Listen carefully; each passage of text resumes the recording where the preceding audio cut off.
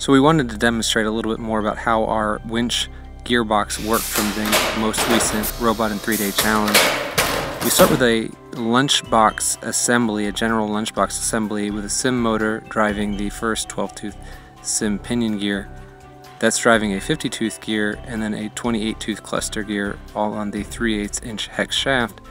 And that's driving a 48 tooth shifter gear, dog shifter gear. The dog gear is driving a shifter shaft. And then inside on the cluster gear we also have a 3 8 inch ratcheting wrench. So let's go ahead and take a closer look at the system. We're going to start with the shifter block and shifter shaft assembly. This is the shaft that will actually drive the interior dog gear on the shaft. When this is pushed in, the shaft will disengage from the gear and when it is brought back inside the gear, it will engage with the shaft driving the winch down. On the shifter block, you can see that we actually have a spring installed. This spring keeps the dog engaged with the gear, spinning the shaft when there is no pneumatic pressure engaged. So at all times, until the pneumatic piston releases the dog from the gear, this is a driven assembly. The pneumatic piston would force in the shifter block and disengage to a neutral position, allowing the shaft to spin freely from the gear. The shaft is coupled to the dog via a 2.5 millimeter screw.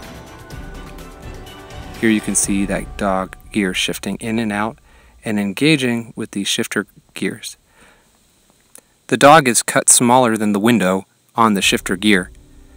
This allows the, gear, the dog to engage with the gear, sliding in with some slop, and spinning until it engages with the window. Here you can see how as the dog spins, the gear will spin alongside it.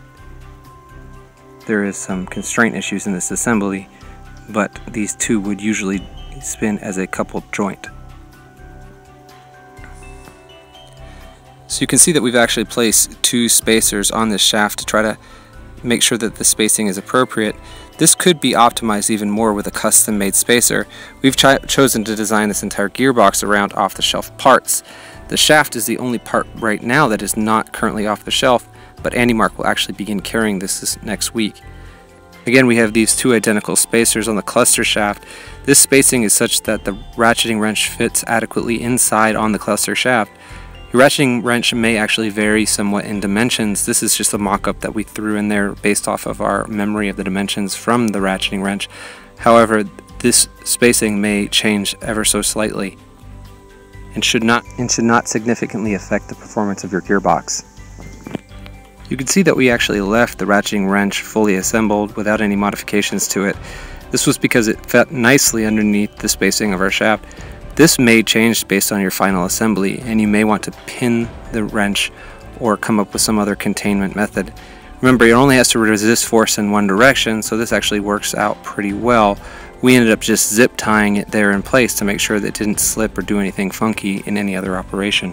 Now taking a look at the rest of the construction of the gearbox, we have a traditional CIM motor plate and a bearing block adjacent.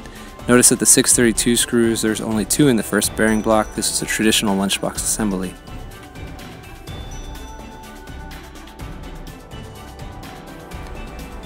All of their lunchbox plates are installed with their 4632 screws. And the other unique assembly is that for the shifter shaft, instead of using a custom shifter block, we've actually chosen to use a bearing block in which we've drilled out clearance holes such that the shifter block fits inside. This block should be fine for you to use uh, in this configuration. You will just need to drill out the 632 taps for 632 clearance holes. They will clamp the two blocks together adequately. The driven shaft in this assembly is a half inch keyed shaft and should be able to fit most design configurations. So this concludes our tutorial on our one-way quick release winch gearbox. If you like this tutorial and you'd like to see more like it, go ahead and comment below or give us a thumbs up. And if you'd like to see anything specific, let us know what you want to see. As always, thanks for watching and have a great day.